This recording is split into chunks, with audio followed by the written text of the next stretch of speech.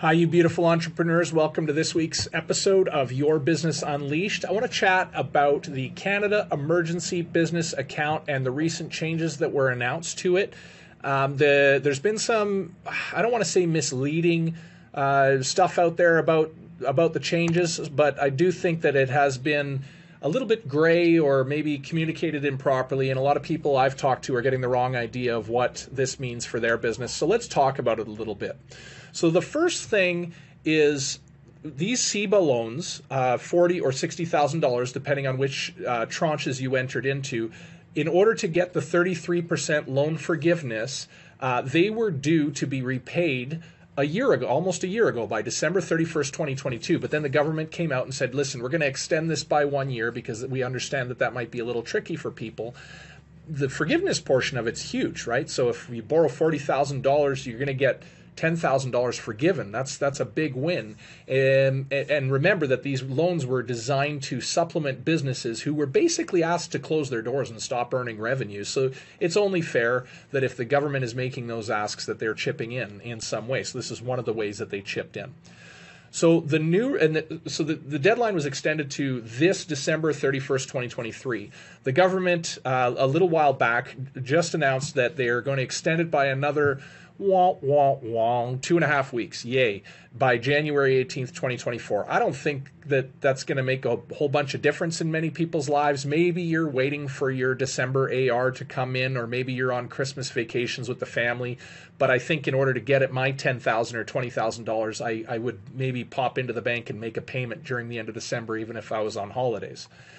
So the first thing that they've done is said we're going to give you till January 18th. The reasoning behind that maybe doesn't make total sense to me, but I, I, I think that's uh, neither here nor there. You can go and refinance. So you can actually apply for a loan to pay off the CEBA loan. And so that would be going to your bank and saying, listen, I need a loan for $30,000 because I borrowed 40. The government's going to forgive 10. I need to extend this loan out on, a, uh, I need to extend the loan out because I don't have the 30, but I do want the 10 forgiveness. That's a refinancing. If you make arrangements and have an application in process with the bank that you originally received the CEBA loan from, they're going to extend your repayment deadline to March 28th. So you need to make sure that the wheels are in motion, the application is in, at the institution that you originally borrowed your CEBA money from. If that is in place by January 18th, you actually get till March 28th to repay the CEBA loan. They're assuming that you're going to need a couple of months to get that uh, payment or that financing approved.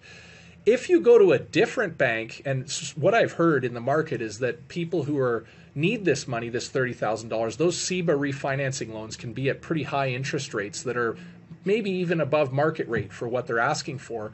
Um, and so what people are doing is going to other lenders and seeing if they can get um, refinanced for the $30,000 to pay off their CEBA loan at the different institution where they originally borrowed their CEBA loan.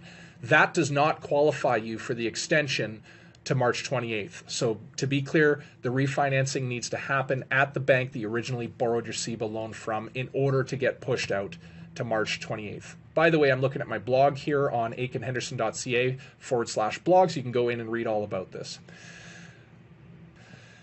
So, if you're not able to pay off your CEBA loan, um, the original uh, wording of the CEBA had it as a two year term loan at 5%. That's been extended out to be a three year term loan at 5%. So, that's an interesting piece. Um, and just as a quick reminder for those on the tax treatment of the CEBA loan, the forgiven amount, so if you borrowed $40,000, the $10,000 forgiven amount was supposed to be included in your corporate income or your in your business income at the moment that you received the loan, not when you get the forgiveness. So that $10,000 had to be included way back in the day in your income uh, when you got the loan a couple years ago if you are not taking advantage of the $10,000 forgiveness because you can't swing it, you can't make that $30,000 payment, uh, you'll be able to deduct out that $10,000 when you actually repay the, the CEBA loan over time. You'll be able to go into your tax return and make adjustments to reduce the amount that you previously included in your income on those tax returns. There's some examples on the CRA's website, and I encourage you to go and look into them. But those are the main changes to the CEBA loan, just to take any confusion out of it feel free to hit up our website, www.achenhenderson.ca forward slash podcasts. Or if you have questions about how these new CEBA loan rules might impact your business, feel free to uh, pick up the phone or fill out our contact form, and we will be happy to discuss that with you. Thank you so much, and we'll see you next time.